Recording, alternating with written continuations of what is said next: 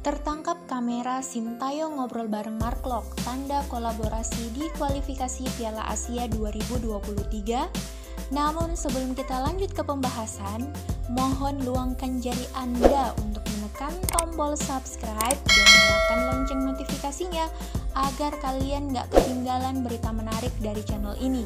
Kalau sudah, kami ucapkan terima kasih. Sintayong dan Mark Lok tertangkap ngobrol bareng di tribun Stadion I Gusti Ngurah Rai. Mereka berbincang di tengah laga Persib Bandung versus Bali United yang berlangsung di pekan ke-19 Liga 1 2021 sampai 2022 pada Kamis 13 Januari 2022 malam waktu Indonesia bagian Barat. Sekarang yang jadi pertanyaan, apakah yang mereka obrolkan? Pertandakah Sintayong mengandalkan Mark Klok saat timnas Indonesia turun di babak ketiga kualifikasi Piala Asia 2023 pada 8 sampai 14 Juni 2022?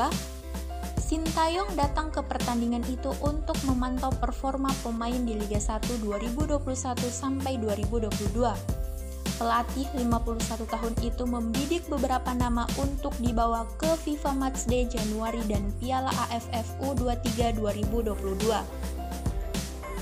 Pantauan MNC Portal Indonesia di lapangan mendapati Sintayong dan Markluk terlibat cukup lama berbincang. Keduanya tampak serius membicarakan sesuatu. Namun demikian, sampai saat ini belum bisa diketahui apa yang mereka perbincangkan untuk keduanya. Tentu saja perbincangan ini menarik perhatian lantaran Sintayong tengah berburu pemain. Markluk merupakan pemain asing yang sudah dinaturalisasi dan mendapatkan status warga negara Indonesia sejak tahun lalu.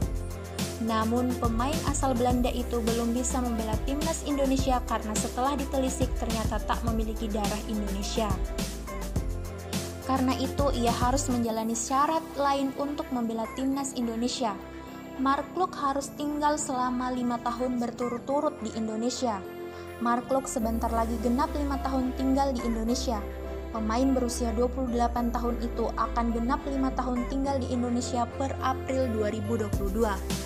Melihat kondisi itu, tenaga Mark Klok bisa digunakan Sintayong saat timnas Indonesia turun di babak ketiga kualifikasi Piala Asia 2023 pada 8 sampai dengan 14 Juni 2022. Akankah kehadiran Mark Klok membantu timnas Indonesia lolos ke Piala Asia 2023? Sangat menarik untuk dinantikan. Untuk jawabannya akan kami tayangkan di video selanjutnya. Bagaimana menurut kalian?